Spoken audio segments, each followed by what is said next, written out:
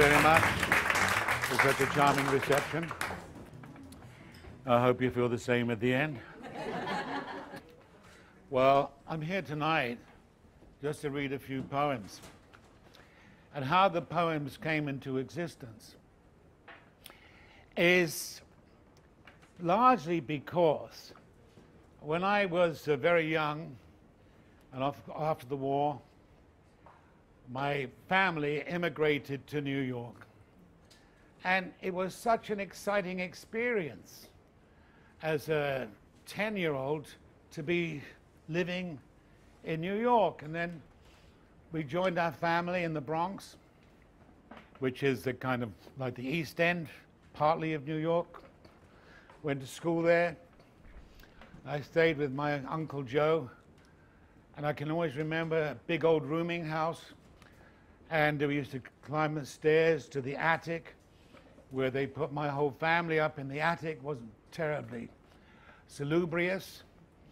But for my family, it was a bit of a strain. It was stressful. They hoped they could improve things. But it was just after the war, and for many people in New York, even they couldn't find work. They didn't have somewhere to live. That was certainly uh, up to the standards that most people would like. But for me, as a 10 year old, to me, the place was astonishing. It was unbelievable because I had learned about America through the comics that my cousin used to send me. You know, Captain Marvel, Superman, and Batman. And I started to imagine that Superman actually lived somewhere in New York. I would see him flying over the buildings. And so that's just a brief introduction of how much it meant to me. And I, I, can tell you, and you probably had similar experiences, all of you, of some amazing trip, that when you're 10 and you're on the Queen Elizabeth I, and the boat docks in New York, and they, I think, plan it so you, you dock at, at dawn, and they see the lights of Manhattan looming up in front of you. And such an image, when you're 10, and you've come from a little country town where we were evacuated. And you get on the deck, it's October, it's cool, and you see these buildings looming up in front of you. And you think, this is exactly, exactly as I expected. This is exactly like Batman, exactly, I almost expect. Where is Captain Marvel? I'm going to see him any minute.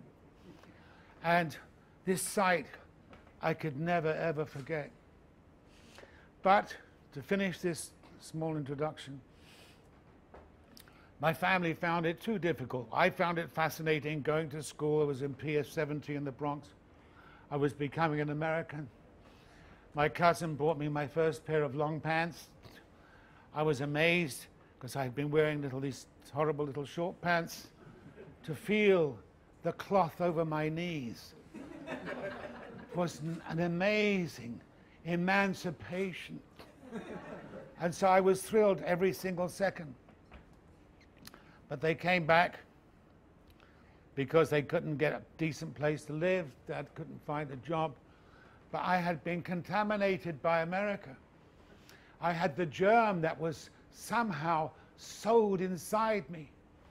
It had been plunged deep into my DNA, into my bloodstream. I dreamed about it. I fantasized about it.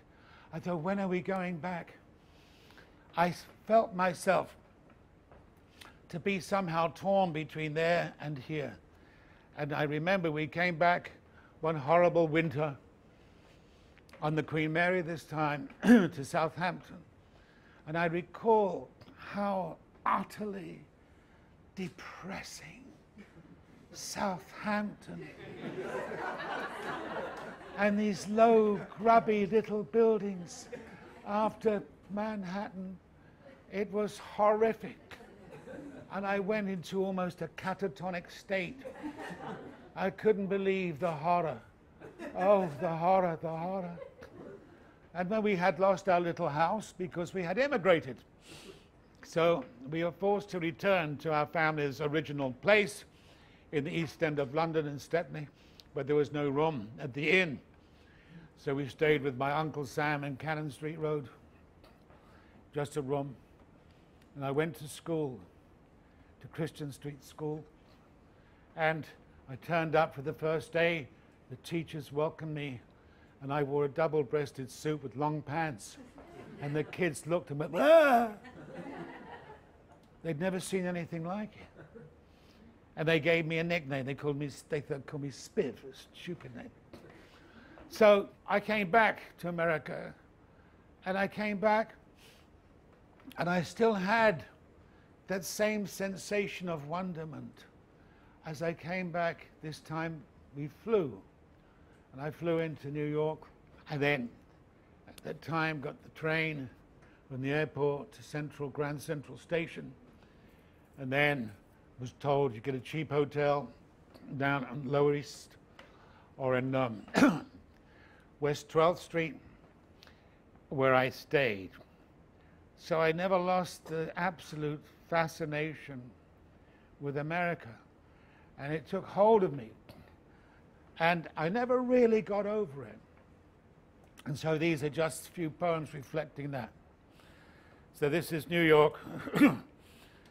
when I came back eventually, my late, early, late 20s, early 30s. Okay. So I just walking through the streets, I found so interesting, so stimulating. I was so curious, I felt somehow like a ghost. I was watching. I thought, what do these people do sitting in diners, walking down the street, in cafes, in bars? I don't know them. What do they do? What's their life? So I felt I was always watching.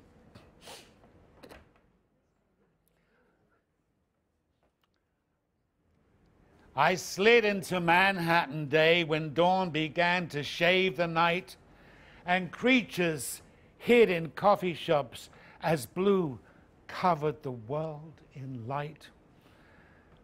A cold, stark, steely blue stretched out bright canvas against the fire escapes. The yellow sign of Hudson Street, the green one points the other way.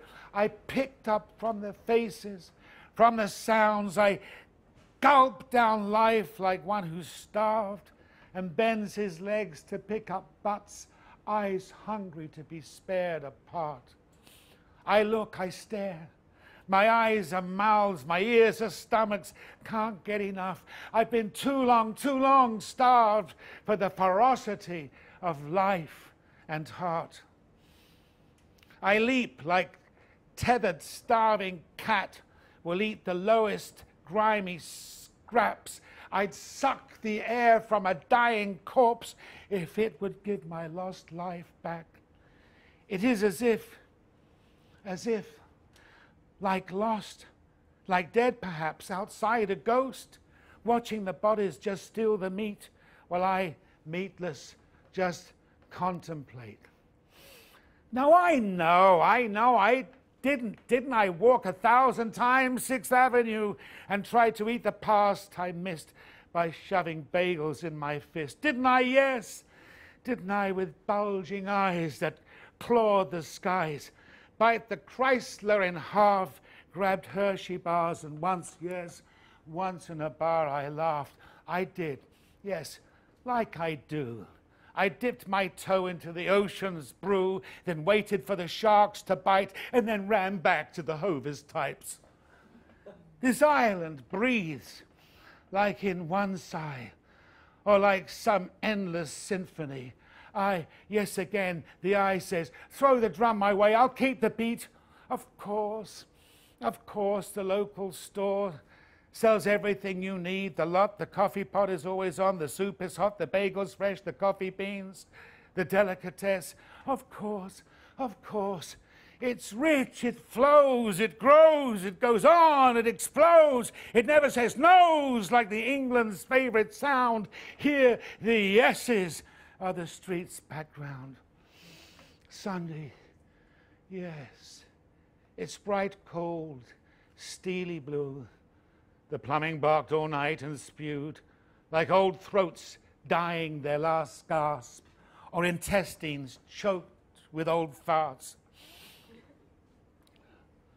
You know, I bet she fucks up, says the beast, whose mouth is foul as dragon's breath. At 8.30 a.m., she wants raw clams and wears a dirty see-through vest. What are they doing here? At 8, fouling the morning's crisp new air like dragging from the night their filth and coated teeth and matted hair, their New York stomachs, goblins' homes that ever filled, regorge as if the world was just a smorgasbord they grab with two fat, oily fists. Beneath their raw rip sound, their torn out chords make thick from shouting out daily demands. French fries, too early, dear. Oh, shit. Who are these people? Who? And where? From whence? And how? So vast and loud. Such violence in their needing sound. I hear the New York underground.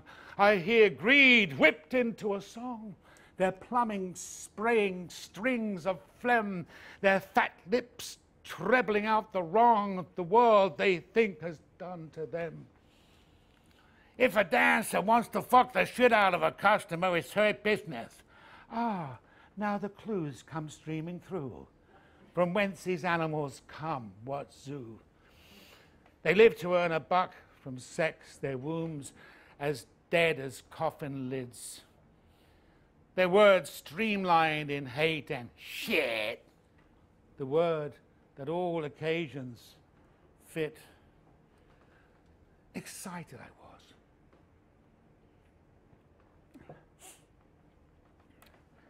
walking down Third Avenue from Gramercy Hotel.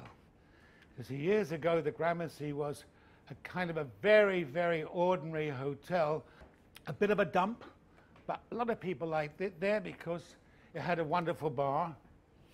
I know a lot of rock and rollers used to go to the bar, and you know, at five o'clock they have this kind of, um, you know, easy hour where they served up little bits of food. That was kind of great fun. But then one of those great hoteliers brought it up and changed it. But before then, it was known as a no frills hotel. Had great rooms, big, large double rooms with a king size bed, and probably some of you may have known the Gramercy Hotel in the old days. And I had a, a lovely big room, but the kitchen area, kitchenette, was a bit disgusting, a bit filthy, the small gas ring and a shelf. But there was no saucepan on the shelf, so I couldn't make my tea. So I went downstairs to the man who was the, uh, the manager, and I knocked on the door. I said, Excuse me, in my best English tone. I have a room upstairs, but uh, do you have any spare saucepans? He says, If you come here, you have to bring your own saucepans. This is a no frills hotel. So that's when I understood that expression the no frills hotel. But then it was bought up by one of these people like Sanderson's, and they've changed it, reordered it, refurbished it, reconstructed it, and it's horrible. and I went back there just to try it, and cab stopped 23rd Street went in, beautiful big foyer, but a little bit dark. I found my way to the reception area. I said, good evening, because it's actually afternoon, but it felt like it was good evening. I said, I have a room here. Oh yeah, what's your name? Welcome. You have a credit card? I, I thought, what a way to greet anybody. I never, but this was the time when it was still the No Frills Hotel.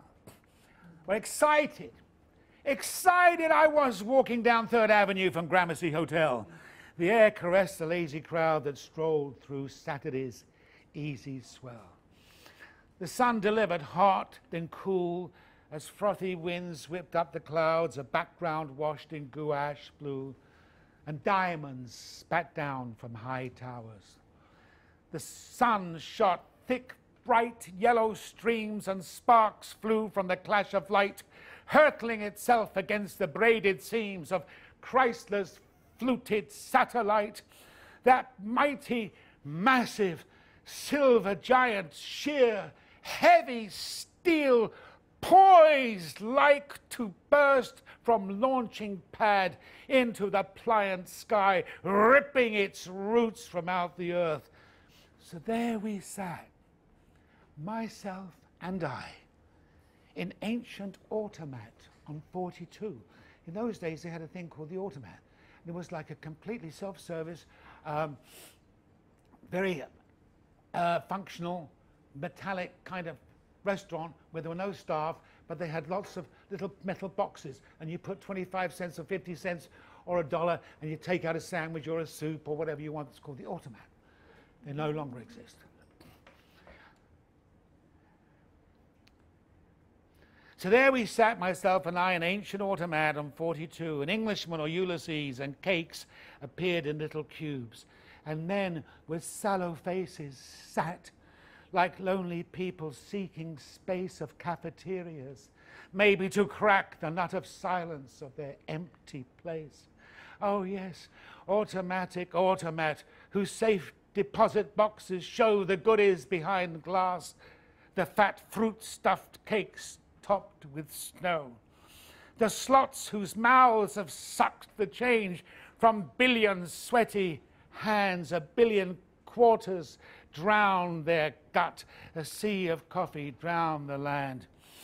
Out of the great window, I stared at Christless demons in frozen steel, perched on edges, obelisks to scare the devils and the deeming swill.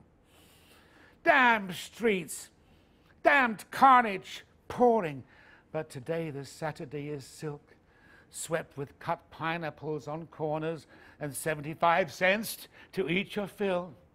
I wandered, stretching tens and out, pump feed, pound and eat the dust, hurl the photos of the past and shout, Hallelujah! Now I wish to crush the city to me take it through my veins and melt in the stream and wrap my skin around you and weave you in my dreams. Oh, America was for me an utter supreme fantasy when I was still with sticky hands unfolding the wonders of Batman. The comics thick and glossy smells, the heavy post from US aunts to small and British suburban hell. A child absorbed the strident blast of Superman and wicked, vicious men.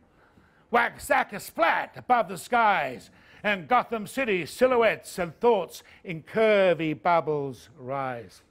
So now, yes, yes, this is no dream, but columns glide up tall, serene, majestic, thousand eyed monolith, taut tension, gurgled, girdled in steel mesh. Below the 19th century, crumbles, slow, a stack of ancient houses crouched beneath the steely towers, humbled low, waiting for the ball of iron's punch. And yet their ancient memories contrast so well. A spell of memory, heat blasted years that paint upon the face its gnarled history. Below, dry cleaners, express served, and dinner for your every whim a transient and cheap hotel and bookshop specializing in skin, and on and yet on I walked like child taking his first weak steps, head leaning back on spinal cord to drink in dizzying perspectives. A tramp stood still, beard grizzled white, thick slash coat hung like shaggy mane. An animal in perplexed flight, courting crossroads. Don't walk, it says. He stumbles on. Why, etched in pain, past sunglasses made for the rich, and agony inside his brain. Oh, $200, oh, they suit you, miss. And now the mouth of subways, dark inferno in the ground, blinking as one leaves the rumbling sound of hell that churns the night away. The long intestines soured and grim, carrying the blood of the city's life in twisting lines of veins within, in flesh crushed spirit worn in strife. Pick up the daily news today. Let's see who's slain, whose bloody corpse will grace the tabloid front page. Oh, some rival gang sprayed death to poor innocent bystander who caught the slug. The freedom bullet, Frontierland. Let's all have guns, you mugs. It makes you feel the more the man. Let's look at the type. Slay, anger, cops, shootout, fatal mugger, rival gang, leader conflict, stray gunshot. A kid dies holding his mother's hand. An eight year old whose innocence was smashed by men who made the slugs, whose bellies swell with bloody scents, and fat wives who practice yoga on the rug. The counterhand, his dishes clawed, his, his one arm piled his piled up plates like magician making sleight of hand, toasted cheese and salad tastes great. He wears a uniform, black pants, white shirt, a counter hand. He stalks the aisle, hunting down orders, pencil alert, mashed potatoes, the ash, French fries. I walk the blazing, sun-drenched streets. Love the ubiquitous and heavy air from Gramercy Hotel. I felt the heat blast down Third Avenue as I repaired to morning coffee, open sheets of news blasts. What's the treat? Stared dumbly, absorbed shock waves, death wreaked a field day, chopped off ripe years. Truck driver killed simply by chance. As irate citizen, hating cops, sprays from sawn off, makes his dance of death outside the cop house. Poor Tom is snuffed. The 25 year old truckie who stopped to ask directions, fated time, he found no need since time had stopped and armaments work overtime. Oh, more coffee, please. Let's turn the page. Cold hearted tourists watched and laughed as Harry dived from Empire State. 86 floors, then splits in half. By impact, said the police. They know they shoveled up the human meat. There was the name of Harry Larkin. So his mother once named the once whole piece. So once again, the greatest monolith, the King Kong of Manhattan's beast, as stands cold, waiting for the breath of victims sucked out in fatal leaps. He was the number 29 to sacrifice for Empire State. Brilliant and stately, concrete and wires, sucked in its guts 10,000 slaves and chewing up their sweat and gall, its great big mouth to swallow all. Then, as the sun goes west, in lazy crawl, it spits them from its bloated craw. Oh, thank you.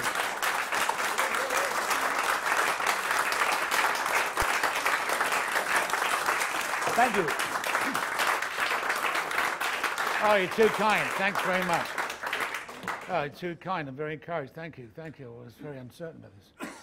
Another thing in the paper about a Bronx school teacher shot in crossfire between two drug dealers. A Bronx school teacher bites the dust. At 53, she lived alone. Her parakeet, her solitary pal. She chats to him and cleans his cage.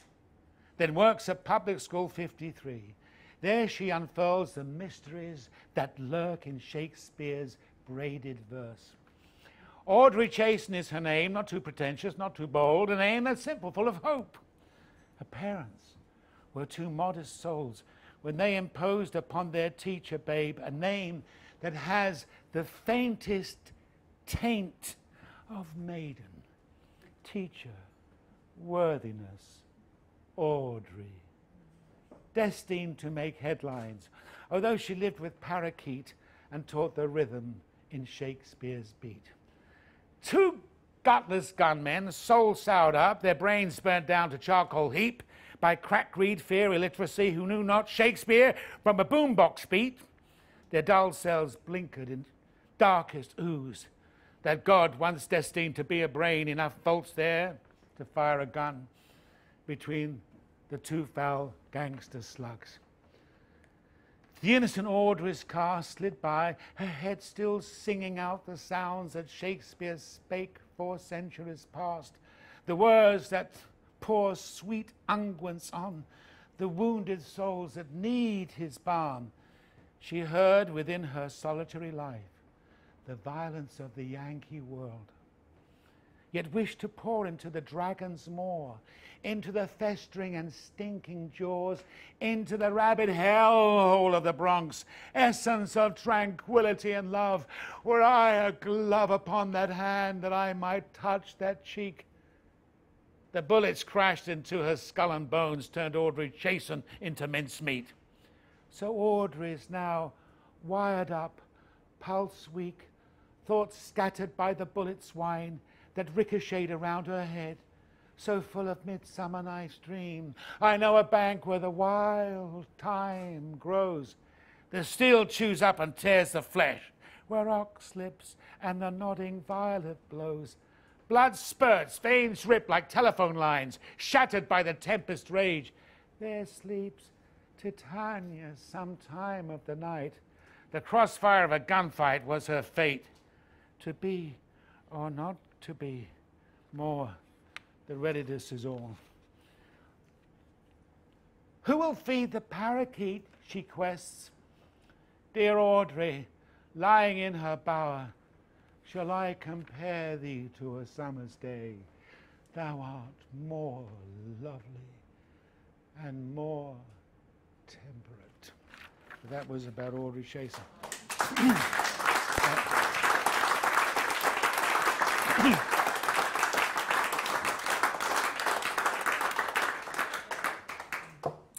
I did Salome in New York. Eventually, I worked there at the Brooklyn Academy. It was very exciting. We were there for a week. We sold out. It was a good experience. And we did Salome there. We got a wonderful theater, the Brooklyn Academy in Brooklyn. It was still started up many years ago, and Peter Brook rearranged the theater, so it was a fantastic, like a great uh, auditorium on one level. and um, curiously enough, Al Pacino had done Salome the, year before. In New York, it was a big flop. I didn't mind because uh, I was meant to, to be doing it, but I couldn't. Uh, we, we had a disagreement, and he found somebody else, and, and they did it very badly. So I was glad to do it. So I'm in New York, 1995. New York, October 95. The driver said to me, Where to? I slid behind the dirty shield, the perspex wall between man and me. In case crack starved, I pull a piece and spread his brains upon the seat. So now my criminal lust is caged behind his battered carapace. I read the posters on the screen, which state my rights. I'm not to tip unless I'm fully satisfied the driver's done his best and been polite. Taking me by the route I like, I slump back in my grimy seat, bandaged up with insulating tape, like the cab's been wounded, slashed, and raped. New York is held together by a million miles of this grey tape. Without it, it would fall apart and crumble in the filthy lake. It seals the rents inside my room, where the air conditioned unit smashed the hole into the hotel wall. The tape fills in the gaping cracks. The filthy cab lurches and bumps like a ship on stormy seas. We bounce along the calloused face of Manhattan's scarred up streets. I read my rights, stare at his head, tear down Broadway to Brooklyn Bridge. He's seen the sight a million times. I turn, and it's a wonderland. The city hits the water's edge. It stands quite still and blinks a bit, like deciding what to do, whether to try and make the leap. We hear the bandaged city shriek from time to time, like some poor beast, as yet another knife is thrust into its bleeding, rotting flanks. We head down Brooklyn DeKalb Avenue, a name which seems to suit the place. A hairdresser was killed last night while riding in his cooped up cab. Two gunmen forced his cab open like opening a can of beans and shot to death the man inside who read his rights upon the screen and decided not to tip unless the ride was satisfactory. In DeKalb, he tipped his blood over the cabman's bandaged seats. I stop, get out, and kill some time, and go where the slaughtered beasts end up between two slabs of rye, a pile of pickles on your plate, Junior's, palace of delicatessen, museum of the ancient tongue. I sit upon unbandaged seats. The menu is a mile long. The Talmud, the kosher world. Aromas seep into my world. I'm swallowed in the ghost of Ma, smiling as her wolfish son wolfs down her golden fried fish cakes. So now I order chicken soup with giant matzo ball within. I slurp the soup. The memory's right. Divide a sandwich, though. It's huge. A corned beef mountain sheared in two. One half I donate to my friend. My tongue begins the steep ascent. My teeth tear footholds in the flesh. Ah, alas, too much. I tumble down and divide my half once again. But now, after I've crunched the pickles and fed my guts, now feed my eyes. The clientele is mostly black who come in every shape and size big and small, huge and white, old and young, and mums with babes. They love the Jews for just one thing a giant slab that's called cheesecake. well, satisfied, we walked the streets to warm up before we hit the stage. We entered a buckled metal door, the rectum to the empty space where actors enter to prepare a face to meet the faces that they meet. In the theatre's belly, we will stew. But this time, we're the delicatesse. The high priced punters get to eat. Tiny room becomes my cell. A lonely time, the makeup's cool. It's 40 minutes before I go on. Those 40 minutes feel like hell my purgatory until I face a thousand judges in the dark, ready to sentence me to death, or else bravo me into space. We enter the arena stage and spin our tale of pain, decapitation, lust, and death in slow motion and stately pace. I say my final line. My heart is high. From 2,000 hands, it rained applause and bravos, shattered the Brooklyn skies. At last, New York was solemnized.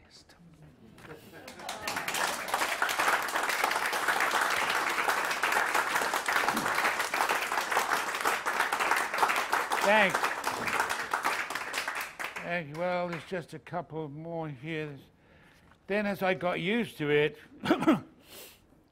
somehow you had the moment after the euphoria, uh, the fantastic kind of excitement, the thrill, the newness, the exploration, the adventure, the fantasy, and then after a few weeks, you start to hate it.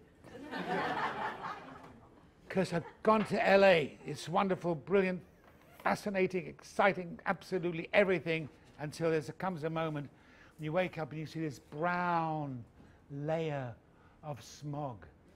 It's thick there's a huge brown stinking layer of carbon monoxide. And suddenly people don't speak to you as nicely as they used to. And suddenly people are indifferent. And everybody's so kind of full of themselves and everybody's so full of their noise. And you can't enter a restaurant without sh people shouting about everything and screaming about everything they do and been and want and heard. Where in London, people don't shout in restaurants.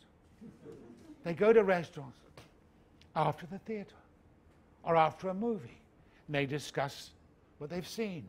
They open the program. and Say, oh, wasn't uh, Vanessa Redgrave wonderful in the second act? oh, Simon Russell, but was so superb as King Lear. but they, they don't have any theatre really, except little, little equity waiver theatres.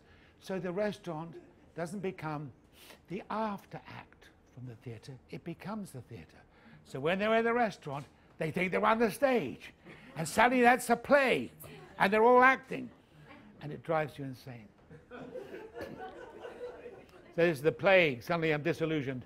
If the smog doesn't get you in its grip with its deadly carbon monoxide mix, then AIDS will wait until you're ripe, then chew your corpuscles with deadly bite. We'll get you in the end.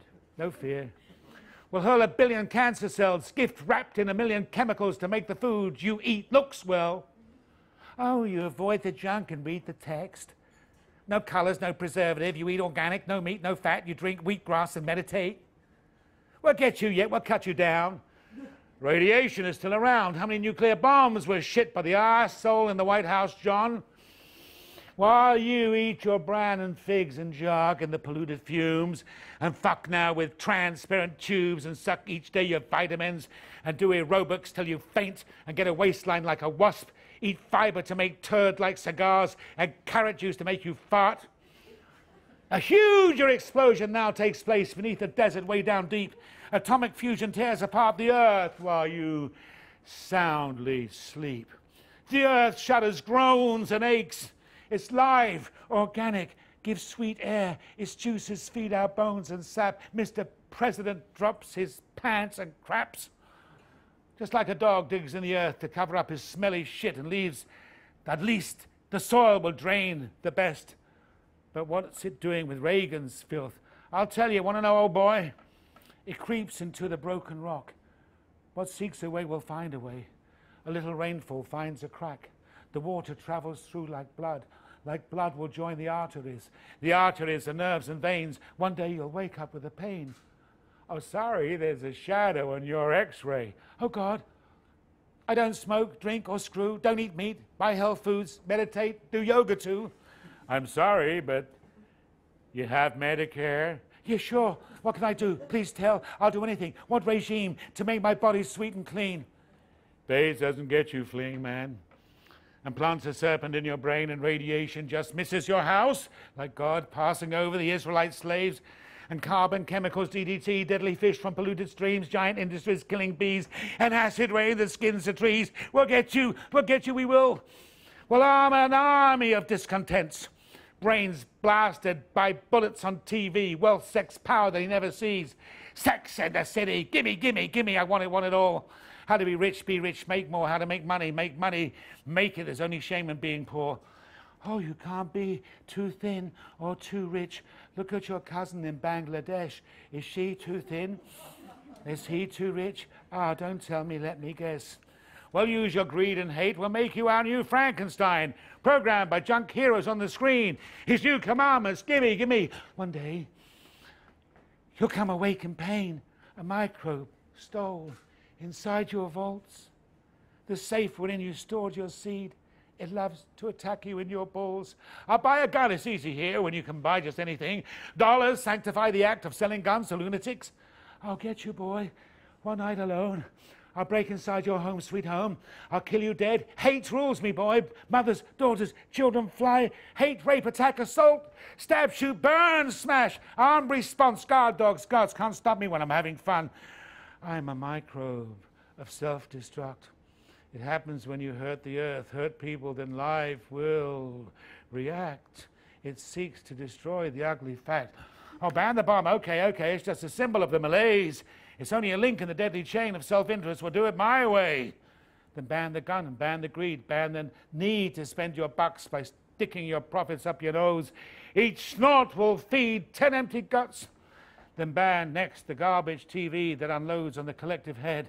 The messages, a deadly word to describe the sewers, deadly turds. It flickers day and night, death ray cells to penetrate inside your cells to make your brain a catacomb, and there the rats will incubate. We'll get you in the end. We'll get you in the end. Don't run. There's no escape. No credit cards will help you when you drop the bomb to preserve Disneyland and Dynasty. Then I went through a period of discontent. Got a bit.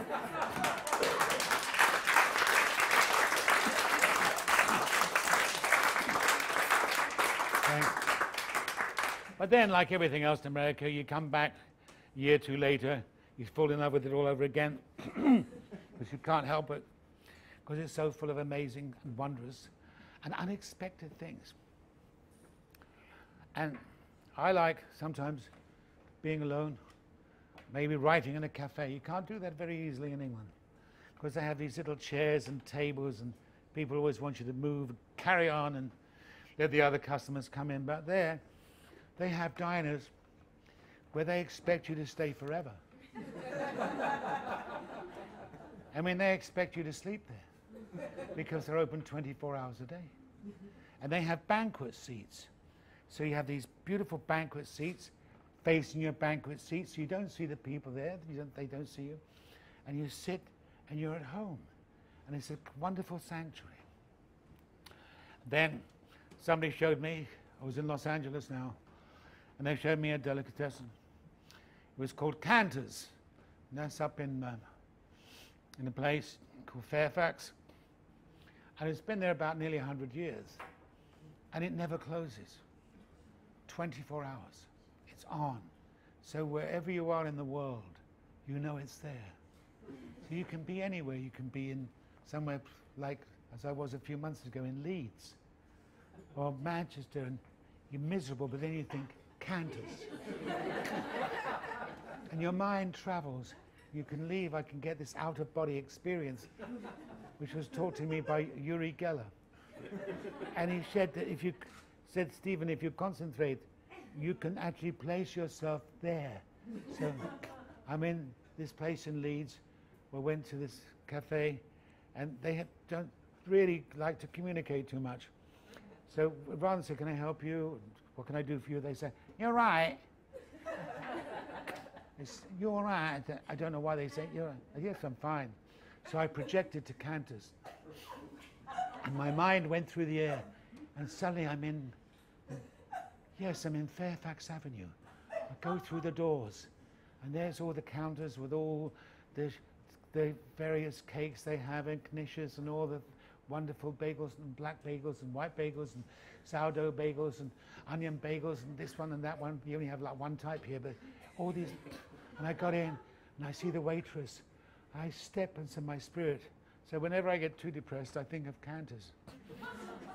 so I ate in Canter's delicatessen, where pickles leap into your eye, and beef is sliced up to the sky 24 hours a day in rye the broken dolls of waitresses whose fluffy blonde hair tops a face that's weathered miles of pounding feet beneath the aging carapace.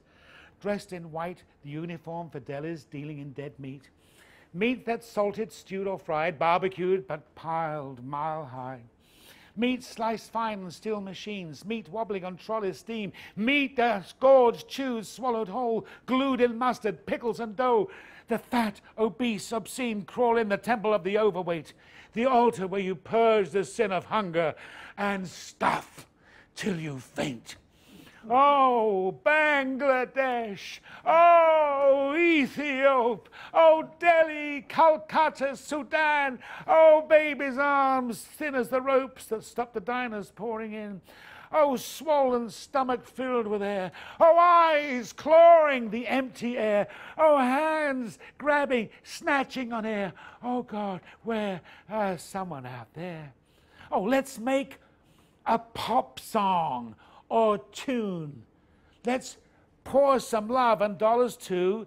Then we'll buy some grain and fuel and then sleep well in Malibu. Corned beef on rye, pastrami lox, a Reuben's cheese melting on top, the beef sliding over the edge, torn out entrails called sweetbreads, heart, lung, livers, kidney, tube, balls and brain, a witch's stew, throw in a toad or hangman's grease. Hey, I'll have that on sourdough, please. 24 hours. It daily churns. Could fill half of Africa with what it puts between two buns now open wide and down it slurps. Oh, precious Canter's, holy deli. Not Delhi, India, home of saints, but deli, home of gefilte fish. Fat matzo balls and stomach aches. The paradox, don't question it. The TV brings you starving babes, watch Dynasty, or dried up tits that starving mouths will suck in vain. The TV brings into your home the suffering of the human race. If you could now reverse the tube and send corned beef on rye through space. Who are we to feel some guilt? We worked, we paid our taxes, rates, we paid for our trailer home that we use on sunny days. Did Jesus say, Listen, my brethren, it's easy for a camel to go through the eye of a needle than a rich man to go for heaven? Oh, you want heaven? No, of course not.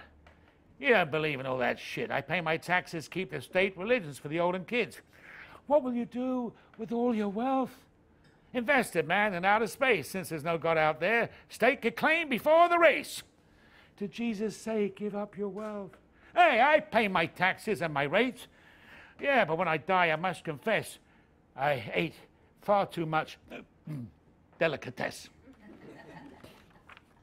Dan, thank you.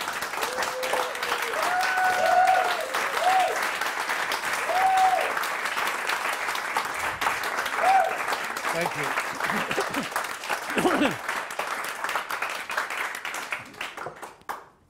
of course, couldn't go without just a little comment on the movie I did. First movie. When I went out there, I was doing a little play in kind of what they call equity waiver. That means you waive your rights, you waive your salary, you waive anything you have, you waive your union, you waive everything you exist, you waive your, your conscience, you waive, that's called equity waiver. So I did a play in equity waiver in Santa Monica Boulevard, and by chance, uh, Martin Brest was looking for a, a, bad guy to play opposite Eddie Murphy in Beverly Hills Cop. Yeah. And uh, at that time, Sylvester Stallone was actually the guy I met. He was the man who was doing it. And um, you know, I had to meet him. I met the director, a very charming man called Martin Brest. He said, Steve, I'd like you to meet now Sly. That's very nice. Then I went to another room, and there was Sly. He was sitting behind a desk, and there were about 12 people, because there was him, and of course his assistant, and his assistant's assistant, and then the producers.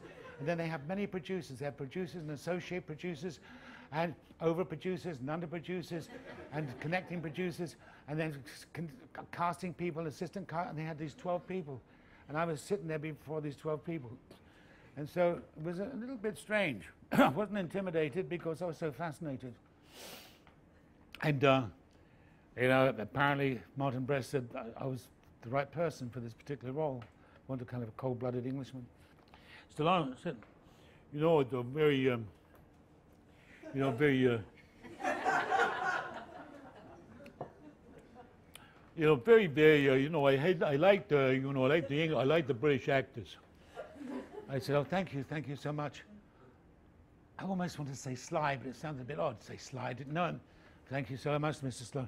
Oh, yeah, do you know, they have the, the voices, you know, that, that when you hit the English actor, they have the great voices. They can really project voices, you know what I mean? I don't know how you do that, but you got the fantastic. so I tried to make a little joke.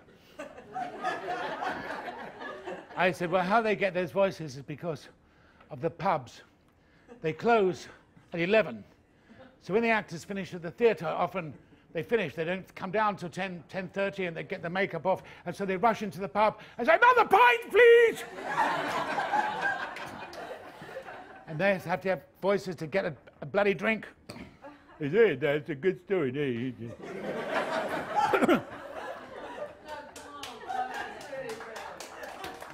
so then, I got along with him. A very charming man and easy to work with. But that was the second film. I didn't work with him in this because he left the film because he didn't get what he wanted in terms of the uh, uh, action, the sets. He wanted to close down the freeway for a piece of action, and producers say, no, we can't close this freeway. It costs a million dollars an hour to close the freeway. So he left. so then they had nobody for the film. So they asked everybody. The film was all cast and they had all the locations and they had the costumes. Everything was made. They couldn't cancel it. So they, they approached everybody, you know, all the kind of actors that you think of, Ryan O'Neal, all these people, they all were busy. And the thing is about this guy, Stallone was playing this uh, cop, and um, he has an affair with a woman in the art gallery, and they have an old, she's an old flame. Well, they couldn't do that because now it's a black guy, Eddie Murphy, so they had to change it. And um, so he had to uh, take over the dialogue, but the dialogue, of course, was written for Sylvester Stallone, so it was all this tough guy dialogue. but he was a comedian, so he changed everything. And so you had to be prepared. So that was exciting because he made up stuff as he went along and that made the film the most successful of all the Beverly Hills Cop films, and the others couldn't follow it because they were all scripted, trying to copy, but you couldn't copy the brilliance and genius of Eddie Murphy's improvisational skills. So I'm just waiting. Waiting, waiting, waiting around. The sun pours down and drifts away. The shadows lengthen on the ground and eat into another day. Okay, let's go. The figures move. Ready. A voice calls from the gloom. A clapper snaps. The cameras roll on action. Actors clear their throats. Quiet, please, rehearsal. Someone yells. It all goes quiet. Just the birds who sing and twitter in the hills, and pine trees release their summer smells. A stuntman sits and talks of feats to a fellow crony and just nods. You know, fights are not what they used to be, not when you had the Duke and Steve. Duke, of course, refers to John Wayne. Steve, of course, is Steve McQueen. Now both dead. This used to be Bugsy Siegel's house. The walls surround the pool on top, the tiled fountain and terracotta, the view that makes you gasp out. Wow! Wow! What a place! The valley spreads beneath your eyes, a paradise. The Hollywood sign sits up high, so all the world will raise its eyes. The sunburnt valleys green and mauve. The cypress trees indent the hills. The mansions stand remote alone beneath Hollywood freeway spills. Then, in the blinking, waning sun, the sky is bluish red and scarlet pink. The dry gorse glows as evening comes, and lizards slink within the weeds. Action, he calls! And raise your gun. A Magnum 60, the model says. Now smile just as you use your thumb to cock the trigger's deadly sea. Just smile and raise your arm real slow. Oh, is this okay? The actor pleads. He checks the image in the hole where dollars manufactured dreams. Oh, great, it looks great, he says. The blast echoes through the house. I raise the gun after the blaze, just like the way it was advised. This was my first. This was my first, my Hollywood. The first time I invaded time to place myself within the wood where holly is a white teeth smile. My suit's prepared, my tie is slick. I raise the gun again, real sly. My first exposure on the print, a gun against an empty sky. This is how you view the world. You grab a bacon bagel first, the sun sweeps down and wipes your neck. You wait until your name is heard. Okay, action. No talking, please. This is the shot. His POV. The body in the bathroom bleeds the flies invade the lemon trees. The scene today is your death fall. Your shirt is rigged with sacks of blood that will, on action, spout their gore while you pretend poof, the bullets thud. The star is introduced to you. He surfaces from out his cave, the giant trailer where he plays his tapes and keeps from public gaze. Hi, how's it going? Is the code the handshake and the teeth exposed. He stabs your face out in his head the moment you have turned the bend. The sun sinks down while LA's rise. The jeweled crown now spikes the sky. The cameraman says, Two more shots before the light begins to die. It's over now. The field explodes. The cars are dying to get back home. It's called a wrap my debut done, I fire a really heavy gun. Then I just finish with this. this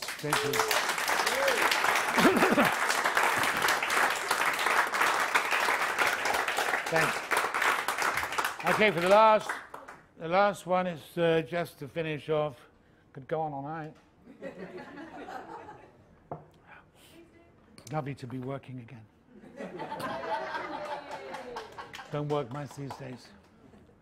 But next to my hotel in Los Angeles, it was a motel. It was like a kind of no-frills motel called the Marinas Pacific Hotel. Lovely hotel on the beach. Next door was this place they have all over LA called Tom's. It's like a burger joint, but really cheap, and mostly down and outs go in there but they never tried to upmarket it and improve it or paint it. It's just down and out's place. And you get the kind of people you'd never see ever in England. Because they're down and outs, but with a poetic tinge. Here, the down and outs are just down and out. And they're drunk and they're dirty and they're, a bit sad, but there they're kind of they're artists. And they're always playing music or doing funny things and, you know, saying, and they never have, like here, the down and outs. You know the down and outs, oh, they talk like that. There, the down and outs have these great voices. They have fantastic voices and they can speak and they don't, they don't have any funny accents. So I'm even fascinated by the down and outs. The faces stare out meekly from Tom's gloom, slurp down their breakfast to their tunes, clutching their tin cassette decks like a bride that will no never them deny. Will play the sweet sounds yet just once again. They hold them like a dear sweet friend. The smell wafts up like from the dead. Turn now forward, face the sea, not back, not back inside the LA scene where broken backs of houses stake their claims, don't dare to park, don't trespass, hints of pain.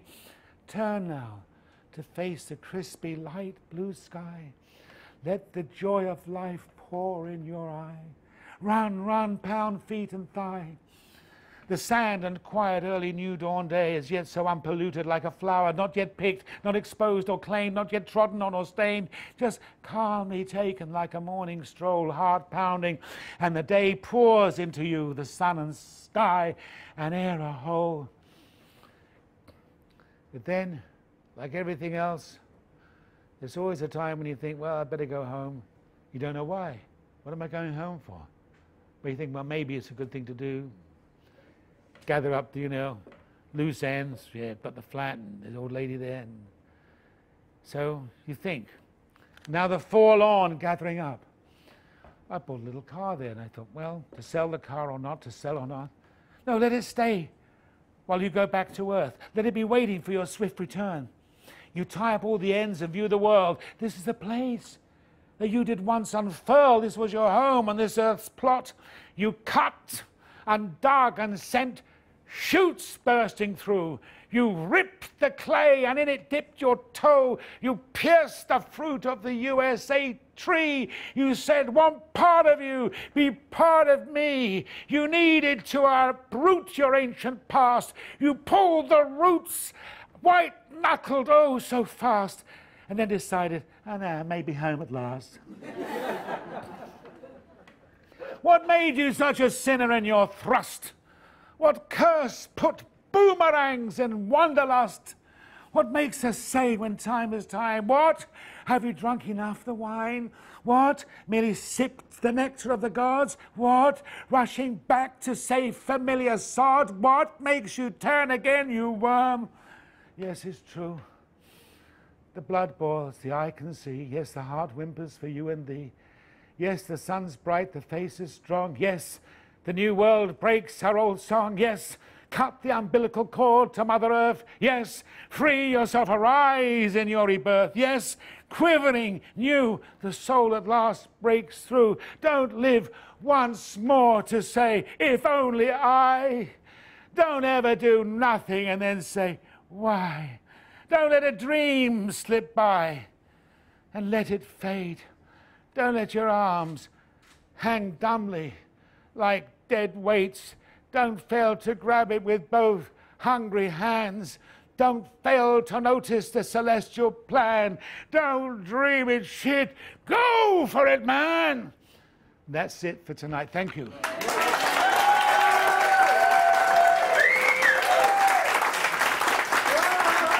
Thank you. Great, thank you.